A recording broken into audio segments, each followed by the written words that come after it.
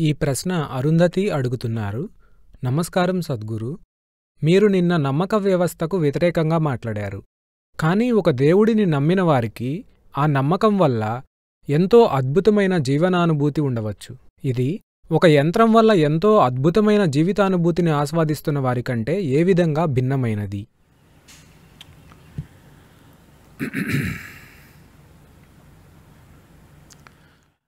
చూడండి మీరు ఏదో నమ్మడం వల్ల కాదు. మీరు ఏదైనా నమ్మినప్పుడు మీకు చాలా ఆత్మవిశ్వాసం కలుగుతుంది. అందుకే మనం నమ్మేది. మనం దేవుణ్ణి నమ్మడంతో మొదలుపెట్టాం. ఈ రోజుల్లో ఇదో ఫ్యాషన్ అయిపోయింది. నన్ను నేను నమ్ముతాను అనడం. దాని అర్థం ఏమిటో నాకు తెలియదు మిమ్మల్ని మీరు ఎలా నమ్ముతారు? లేదు లేదు. నన్ను నేను నమ్ముతాను. మీరు చేయాలని చూస్తున్నది ఏమిటంటే మీ ఆత్మవిశ్వాసాన్ని పెంపొందించుకునే ప్రయత్నం. ఆత్మవిశ్వాసం చాలా ప్రమాదకరమైంది. ప్రపంచంలో ఎన్నో మూర్ఖమైన పనులను వాళ్ళకు ఆత్మవిశ్వాసం ఉండడం వల్ల ఎటువంటి స్పష్టత లేకుండానే చేస్తారు. ఎన్నో మూర్ఖమైన వినాశకరమైన పనులు ప్రజలు ఎందుకు చేస్తారంటే వారికి స్పష్టత లేకుండా విశ్వాసం ఉండటం వల్ల. వాళ్ళు సాధారణంగా నమ్మకం కలిగి ఉంటారు. వాళ్ళు దీన్నో దాన్నో మరో దాన్నో నమ్ముతారు. ప్రాథమికంగా నమ్మకం అంటే మీరు అసత్యంలో ఉన్నారని. నాకు తెలియదు అన్న విషయాన్ని మీరు గ్రహించడానికి సిద్ధంగా లేరు.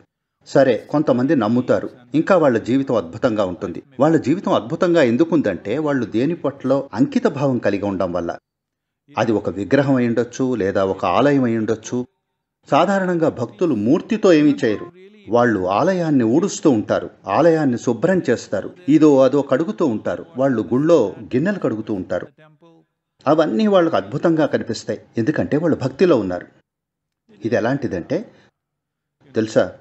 ఎవరికో పిల్లాడున్నాడు. పసిపిల్లవాడు. వాళ్ళు ఈ పిల్లాడి పట్ల ఎంత అంకిత భావంతో ఉంటారంటే అన్నీ అద్భుతంగా అనిపిస్తాయి. డైపర్ మార్చటం కడగటం అద్భుతంగా అనిపిస్తాయి. అన్నీ అద్భుతంగా అనిపిస్తాయి వాళ్ళకి. అవును అలానే ఉంటుంది. దీని అర్థం కడగటం బాగుంటుంది అని కాదు. వాళ్ళు అంకితమై ఉన్నారు. అందుకే అన్నీ అందంగా ఉంటాయి. భక్తి యొక్క తత్వం ఇదే. అది పిల్లవాడైనా ఒక ఆలయమైనా ఒక దేవుడైనా ఒక విగ్రహమైనా ఒక చెట్టైనా అది ఏదైనా సరే మీరు భక్తితో ఉంటే మీ భక్తి అన్నింటినీ అందంగా ఉండేలా చేస్తుంది. ఎందుకంటే మీలో పెంపొందించుకోగల అతి మధురమైన భావన భక్తి. మీ మనోభావం అంత మధురంగా ఉన్నప్పుడు ఇక మీరు బాగా తిన్నారా బాగా పడుకున్నారా బాగా పడుకోలేదా ఇవన్నీ మీకు పట్టవు. అన్నీ అందంగా అనిపిస్తాయి. ఇది భక్తికున్న శక్తి. This is the power of devotion. ఇప్పుడు మీరు నమ్మక వ్యవస్థతో భక్తిని పెంపొందించుకోవాలని చూస్తే అది పర్వాలేదు. కానీ భక్తి అనేది కేవలం ఒక అడుగు మాత్రమే. మళ్ళీ అందులో ఇంకో మధ్య అడుగుని మీరు సృష్టించక్కర్లేదు. ఎందుకంటే అది ఎక్కువగా అపార్థాలకు దారితీయచ్చు. మీరు ఏదైనా నమ్మినప్పుడు మీరు సరి అని మిగతా వారందరూ తప్పని అనుకుంటారు. కానీ ఒక భక్తుడు అలా అనుకోడు. ఒక భక్తుడు ఎప్పుడూ సరైనవాడు కాదు. తనకు ఏమీ తెలియదని తెలుసు. కానీ తాను అందుకు అంకితమయ్యాడు అన్నది తెలుసు. అంతే. భక్తికి ఉన్న శక్తి అది. దాట్ మీ భక్తికి ఉన్న శక్తి వల్ల మీరు మీ తర్కానికి ఉన్న పరిమితులకు అతీతంగా వెళ్ళగలుగుతారు. అప్పుడు జీవితం అత్యద్భుతంగా అవుతుంది. మీకు ఏదో విషయం తెలుసని కాదు. మీకు ఏమీ తెలియకపోవచ్చు కానీ అది పర్వాలేదు. ఎందుకంటే భక్తికి ఉన్న శక్తి జ్ఞానానికున్న శక్తి కంటే అతీతమైంది. అవును.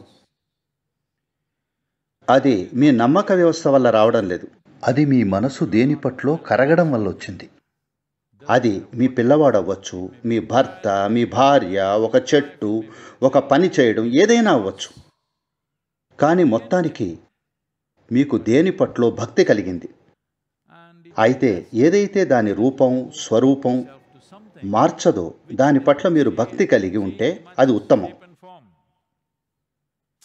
చూడండి మీకు కొత్తగా పెళ్ళయింది. మీరు చాలా అంకిత భావంతో ఉంటారు. కానీ మూడు రోజుల తర్వాత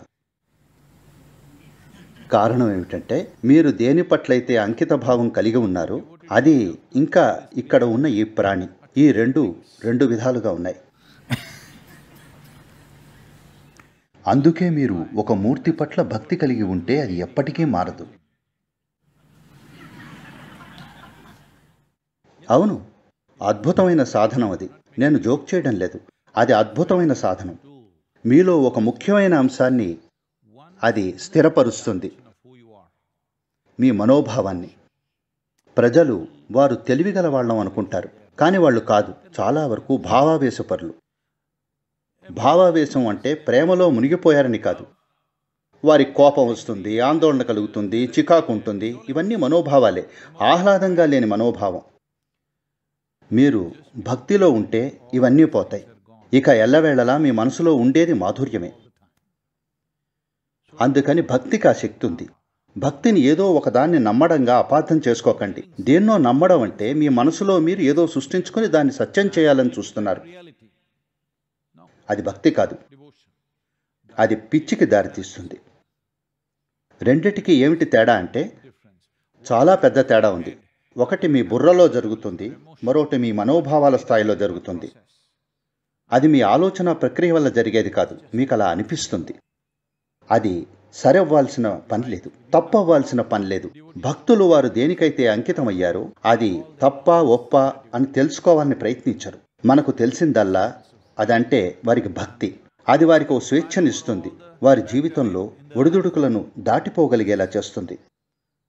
అవును వాళ్ళు ఎటువంటి గడ్డు పరిస్థితిని అనుభూతి చెందరు అన్నిటికీ అతీతంగా పోతారు.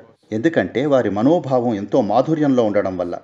ఈనాటికి ప్రజలు మేము తెలివైన వాళ్ళమని అనుకున్నా అలా చెప్పుకున్నా వాస్తవానికి చాలామందిలో మనోభావమే అత్యంత బలమైన అంశం. బహుశా అది వ్యక్తం కాకపోవచ్చు. అది వారిలో బిగిసిపోయి ఉండొచ్చు. కానీ వాళ్ళలో అది ఎప్పుడు రాజుకుంటూనే ఉంటుంది. అన్నిటి పట్ల పరిపూర్ణమైన ప్రేమను వాళ్ళు అనుభూతి చెందడం లేదు. కానీ వాళ్ళకు అన్నిటి పట్ల కోపం ఆందోళన అన్నిటి పట్ల ఒత్తిడి ఉంది. ఇవన్నీ మనోభావాలే.